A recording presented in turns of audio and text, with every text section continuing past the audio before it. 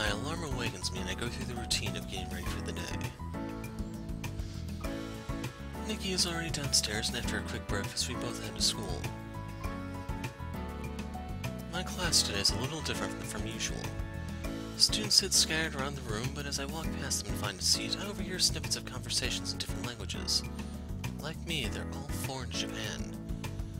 I settle into a seat at the back of the class, far from the entrance, and gaze out the window while I wait for the professor to enter. Suddenly, the room quiets down. I glance at the door, expecting to see the professor, but a girl with bright blue eyes and blonde hair is there instead.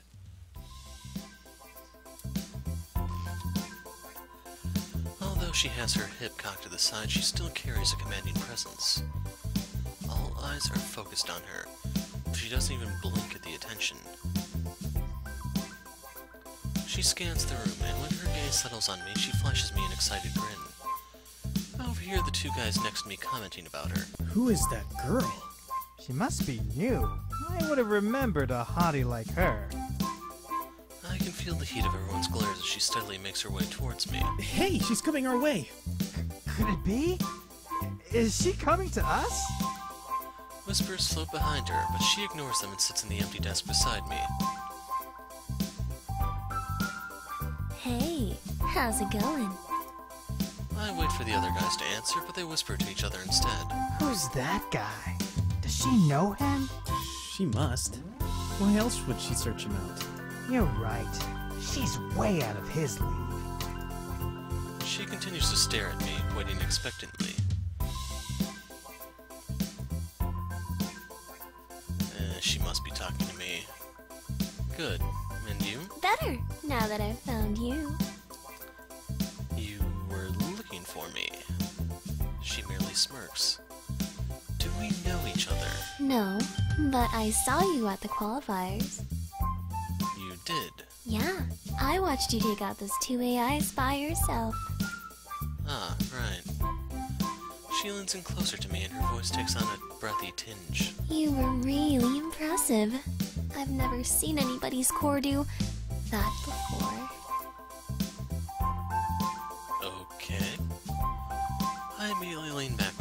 When she leans in. Why is she getting so close?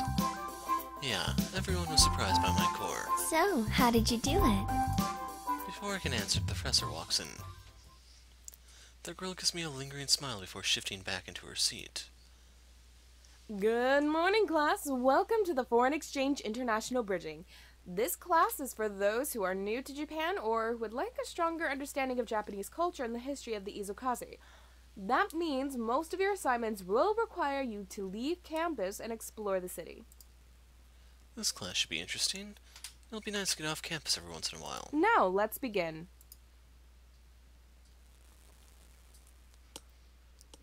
You'll find your first class assignment online. Let me know if you have any questions. Otherwise, have a great rest of your day.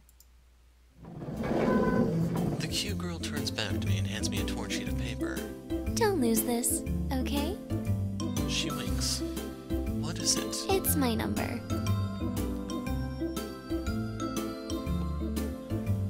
I don't even know you. Why are you giving me this?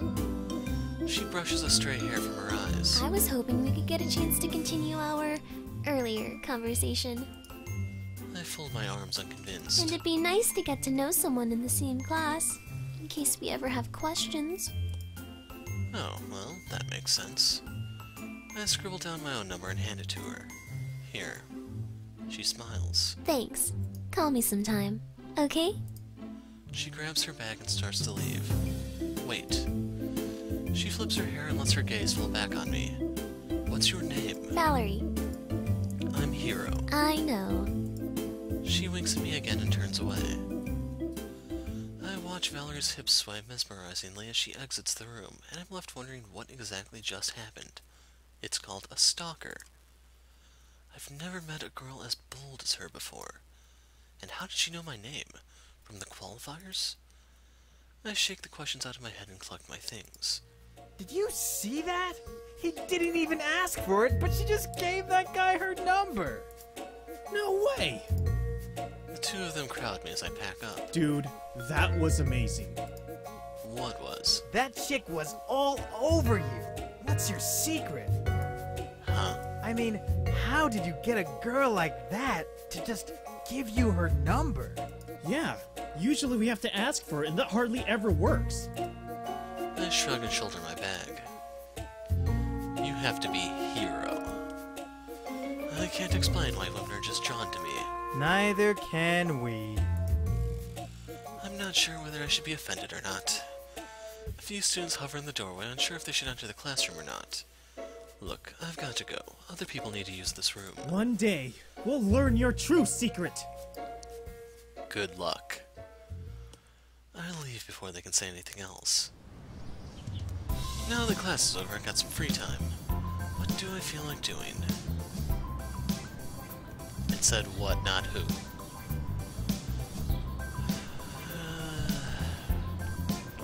Why isn't Yuna an option? Uh,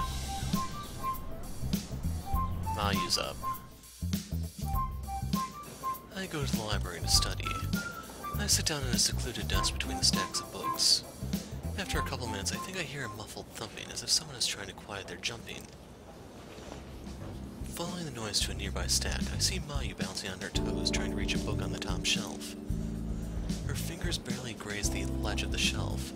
She tries a dainty hop, but she still fails to reach the book. As she sighs, she pouts and raises herself to try again. Stifling a laugh, I walk over and easily pull out the book that she needs. Mayu blinks at me as I hand it to her. Oh, thank you. She hugs the book to her chest and stares shyly at the ground. No problem. It seems like you could use some help here. Her cheeks redden as she nods. I take another look at the book she's holding. Hey, isn't that a Piloting 101 textbook? Yeah, I thought so. I guess you're working on the assignment now. um, yeah. She gives me a strange look. I only know this because I have to retake Piloting 101. I'm not stalking you or anything. Oh, okay. That's good to know. There's a long pause. Mayu refuses to make eye contact with me, and I'm worried it might have scared her when she suddenly speaks. Why do you have to take Piloting 101 again? As soon as those words leave her mouth, her eyes grow wide and her blush deepens. I- I'm sorry. I didn't mean to be rude. I can't help but grin at her reaction. No, don't worry. It's a normal question. Basically, my credit from CINY didn't transfer. Apparently, some of the material is different here for the introductory course. But so far, everything we've covered has been the same. Oh, I see. Yeah, that said, since I've taken this class before, if you ever need help, feel free to ask me. She smiles. That would be great. We stand in silence again. She seems like she wants to ask me something, but is too shy to say it. I know exactly what she wants to ask me. Yes, Mayu, of course I'll help you.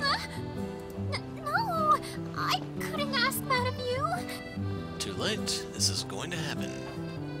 I walk over to my desk and pat the seat beside me. Mayu hesitates, then smiles and sits beside me. Thanks. As we settle at the desk, I pull out my tablet and Mayu pulls out a spiral notebook. She opens her textbook and flips to the correct page, then opens her notebook to a fresh page, her pencil at the ready as she begins to read the text. Watch curiously as she meticulously writes her notes in fine print. After a couple of minutes, she looks up and her eyes meet for a second before she looks away. A blush stains her cheeks. Um, Are you writing your notes? Mayu seems self-conscious. oh, um, yeah. Did we flash back to the year 2000?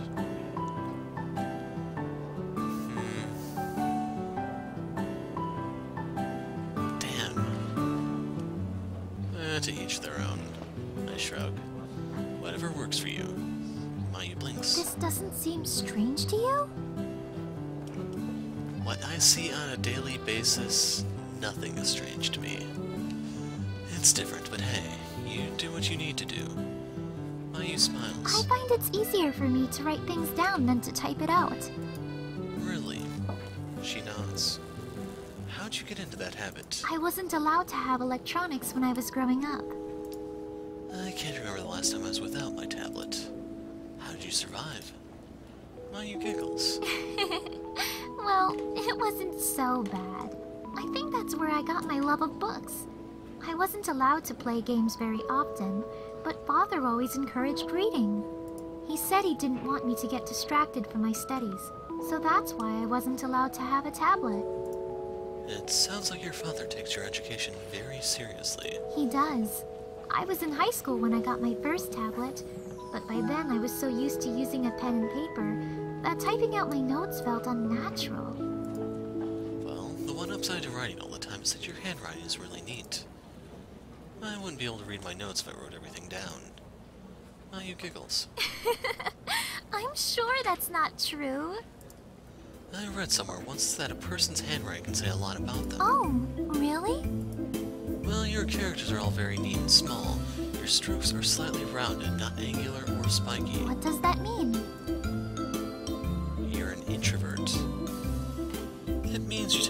Shy and avoid confrontation. You also have a tendency to be more creative.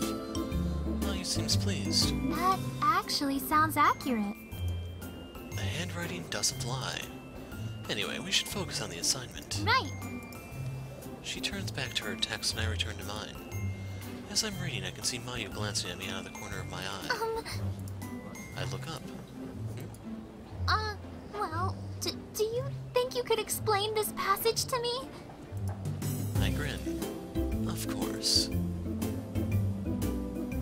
Table of contents, as it turns out.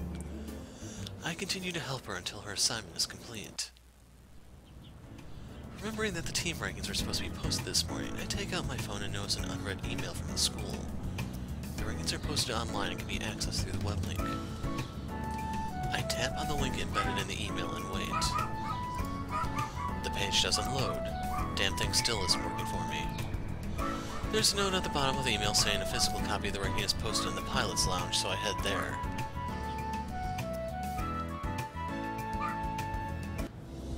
Upon entering, I notice a crowd of pilots in the opposite wall, in front of the posted rank ranks.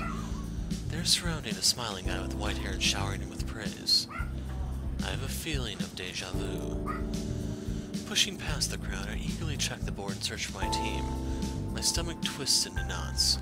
I really don't know what to expect. Once I find their team, I breathe a sigh of relief. Rank 21. That's not bad at all. The pilots beside me are still looking, still talking, and I tune into their conversation. Congratulations on being ranked number one again this year, Akira. Yeah, that's awesome. Thanks, guys. But it's actually my team who deserves the congratulations. They all fought really well. Still, you were a big reason why your team got first rank. I watched the match, and you were amazing out there. Thanks. I appreciate it. Don't you already have a sponsor too? Yeah, Who is it? it's Eludian Enterprises. I've heard their weapons are pretty cutting edge. Wow, you're so lucky. You basically had a sponsor waiting for you. Before anyone else can reply, a group of girls cut through the crowd to read the rankings. A tall girl with long, dark hair steps forward and squints at the board, then she cheers excitedly. Hey, we made it to the top 10! As she jumps up in excitement, my eyes are drawn to her chest. But I look away before I catch myself staring. Glancing around me, it seems like I wasn't the only guy she distracted. Are You serious, May? One of her teammates pushes past to double check the post. Of course I'm serious. We're Especially considering how long we've actually practiced together. That's true. Akira joins May. Congratulations on your rank, May. Thank you, but I'm sure it means nothing compared to being number one. She flashes him a warm smile and she rubs her arms, squeezing her chest together in the process. Akira falters for a second, then shakes his head and speaks earnestly. No, you girls are pretty impressive. You're a new team, right? Formed over the summer? May nods. It's not often that a team who hasn't had much chance to practice and learn from each other is able to make top rank. You have every right to be proud. Thanks. That means a lot. I can't believe Akira just said we impressed him! I know! Do you already have sponsors too? Not yet, but we aren't worried. We've had a few companies reach out to us today. It must be nice not to worry about sponsorship. I think my team and I will go through the SBA to get a sponsor. SBA, what's that? I do a quick search on my phone. A website for a student-run association pops up on the school network. Ah, it's the Sponsorship Bridging Association. A student association that pairs sponsorship opportunities with different teams. Sounds simple enough. Click on the More Information tab. Why should your team get a sponsor? The SBA prides themselves on pairing appropriate sponsors with Ace Academy teams who have proven their ability in battle. These sponsors fund teams for their repair costs as well as provide them with equipment improvements. This is a mutual relationship that gives benefits both that benefits both the team through equipment costs and repairs, and the sponsor by giving them greater exposure and opportunity to advertise through their teams. I scanned through the rest of, of their website, looking for the on-campus location. I should stop by and see if they can help us with a sponsor. Instead of the location, I find the student volunteer list and a name pops out at me. Yuna Misaki. I didn't know she was a part of the SBA. Maybe she'll be willing to help us out. It's a bit loud since those groups of pilots are still talking, so I move to a quiet corner and dial Yuna's number. Hello? Hi, Yuna. It's Hiro. Oh, hi. How are you? My day is about to get a whole lot better. I couldn't be better. Oh? Why's that? Because I'm talking to my favorite SBA rep. oh, thank you. Wait, how did you know I was part of the SBA? I saw your name on the volunteer list online. Ah, of course. And a girl named Valerie taught me how to stalk people. I was looking to get our team a sponsor, but wasn't sure how. Oh. Then I heard a few students talking about the SBA today and figured I'd check it out. When I saw your name, I just had to ask. I'd be happy to help you find a sponsor. Really? You don't mind? It's no trouble at all. I'll check in with the association in the morning, and I'll be sure to keep you in the loop. Thanks. I appreciate it. Did you need anything else? I don't mean to rush you, but I've got to head out. No, that's all. Okay, then I'll talk to you when I have something. Great. Thanks again for your help. Anytime. See you around. Yeah, see you. The phone clicks as she hangs up. At least we're one step closer to getting a sponsor. I hope.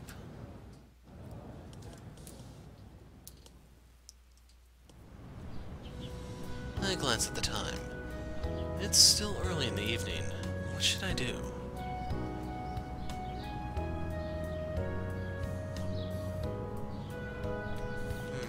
This might be why you couldn't talk to Yuna earlier.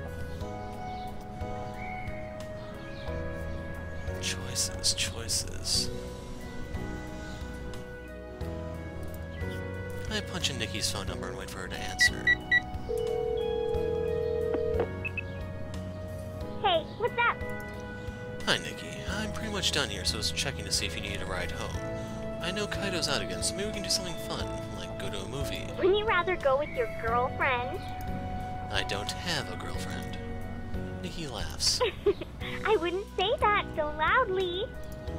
I glance at the students walking past giving me strange looks. Oops. Anyway, I guess you'll be seeing that movie alone, because I already made plans with my friends tonight. Alright, see you later then. Have fun. I'll see if anybody else is free. Sounds like a plan. Bye! Bye. The line goes dead as Nikki hangs up. With a shrug, I think about who else I can call. I really don't want to know what she's up to, in case you're wondering. I feel like doing something active, but I don't just want to lift weights. I've heard the recreation center always has lots of activities going on. There's bound to be something there I can do. As I walk in, the first thing I notice is how much natural light shines into the room. The facility is huge, but it doesn't feel overwhelming. There are signs leading to the different gymnasiums and even a pool. There's a locker room nearby, and I take advantage of the facility to change into my gym clothes. As I continue to explore, I spot tennis courts filled with people playing filled with students playing matches. A few students crowd the sidelines, waiting for a court to be open. Yuna is among them. She's staying alone, stretching out her arms. I head over and greet her. Hey, Yuna. Hi! She seems surprised. I didn't expect to see you here. I didn't expect to be here, to be honest. She chuckles. So, you play tennis. A little, just for fun. Do you play? No, I've never had much time for sports. Schoolwork takes priority. Yuna nods in understanding. That and the whole gear thing. But it is nice to do something different once in a while. Of course. So, have you been waiting long for a court to free up? Not too long. Plus, I'm next on the wait list, so once the court opens up, I'll be able to play. Who are you playing against? She shrugs. Anyone who's available. How about you and I play a game then? She suddenly seems shy. Sure, but I have to warn you, I'm a bit rusty. I haven't played much this season. We'll be evenly matched then. That's okay since I haven't really played. This'll be fun. I can't play with new equipment though. Is there somewhere I can borrow a racket? I actually have an extra you can use. Great, thanks. A court opens up, and Yuna and I take our place on opposite sides. Since you're feeling a little anxious, why don't you serve first? Oh no, that's okay. Please, I insist. She smiles her thanks and nods. As we settle into place, I give my racket a few experimental swings. Once ready, I nod. Yuna tosses the ball into the air and pulls back her arm. With a resounding crack, her racket connects with the ball in a powerful serve. The ball whizzes towards me at lightning speed. Return. I barely manage to clip the ball. It lobs over the net but veers out of bounds. What the heck was that? She's hustling me. I glance at Yuna's worried face and snap out of my daze. It's fine. I wasn't expecting that, but I'll be expecting your next one. She smiles, then prepares for her next serve. 15 love. She loves me that much, apparently. She bounces the ball a few times, preparing herself before the serve. Then she throws it overhead. Her next serve is just as powerful. The ball zooms towards me. I catch it with the tip of my racket. The ball flies erratically but makes it over the net. Yuna smoothly parries it back. The longer we play it, the more I'm able to keep up a volley. Yuna's face is set deep in concentration, but she easily counters my hits every time the ball flies over the net. If this is how she plays when she's not in practice, then I'm not sure I'm ready to face her at peak. Still, the game is over before I know it. I couldn't compare to her, and she won 6-2. A good game. You did really well. You're being too kind. That was clearly a one-sided game. I'm not sure I believe that you're out of practice. You're amazing out there. Yuna's cheeks are flushed from both the match and from embarrassment. Thank you, but I really don't deserve such praise. You have nothing to be embarrassed about. Even at your worst, you're still better than me. That's not true. Are you part of the school league? She shakes her head no. You should really consider trying out. Do you think so? Definitely. She seems pleased but shrugs. Thanks, but I'm not sure I have time for that kind of commitment. Hey, are you guys finished? We turn and face a pair of students walking onto the court. Oh, yes, we just finished. Actually, we were wondering if you two would be interested in a doubles match. Doubles match. You and I glance at each other and both break into grins. Sounds like fun. Let's do it. Great. You guys can serve first. Good luck. I retrieve the ball and toss it to Yuna. She catches it and preps to serve. I don't think these two know what they're in for.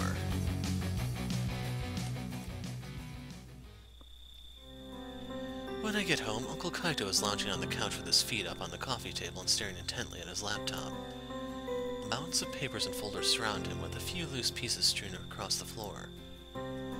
Hey, Uncle, is Nikki home? Clearly startled, Kaito spins to face me and loses the rest of his papers in a scattered mess. He rubs at his eyes before letting out a resigned sigh and kneels to pick them up. I bend down to help. Sorry, I didn't mean to scare you. It's not your fault. Sometimes this house can be too quiet. Quiet. I guess that means Nikki isn't home. He gives me a weak smile. I can tell he's tired. Kaito's been working late almost every night since Nikki and I arrived. I hope he's not overworking himself. I hand back all the papers I collected and he begins sorting them in folders again. Can I help? He hesitates and shakes his head. Thanks, bud, but I've got it. I I sit beside him anyway. What are you working on? Just some work stuff. Right. Actually, now that I think about it, I don't really know what Uncle Kaito does for a living. What kind of work stuff? A lot of things.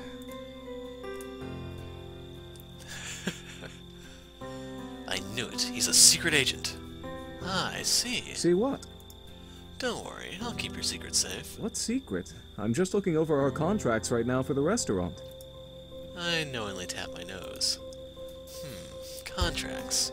For the restaurant. I know he means secret information for the government. Kaito gives me a weird look. Yeah. Contracts for the restaurant. I get you. Although that being said, contracts, don't you have a department that handles those? Yeah, we do. But as regional manager, I have to look at them first to make sure they include everything we discuss. Then I send it to the deal desk to make sure all the legalese is correct and that there are no hidden clauses. He pats the pile of papers closest to him. We're opening up a new cafe in the next month, hence all the new contracts. Oh, really? Yeah. Actually, it won't be too far away. You know that empty lot in the strip mall? The one that's been under construction. Yep, that's where it'll be. That's pretty close. I'll have to stop by after it opens and check it out. Have you been to any of our other restaurants yet?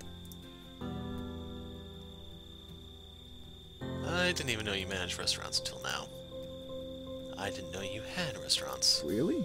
When you were little, I used to take you there when you visited. Don't you remember? Kind of, but I didn't know those were your restaurants. I used to bring you food straight from the kitchen. I was five. I thought everyone did that. He laughs. Fair point. Well, if you get the chance, you should try the place near the park. It serves Western-style cuisine and is very popular in Izukaze. I know it won't be exactly like the food you had back in the States, but I'd be curious to see how you like it. Sure, that sounds great. He grins at me before taking before turning back to his stack. I should probably let him work. I'm going to go upstairs. Good luck with all of this. Thanks.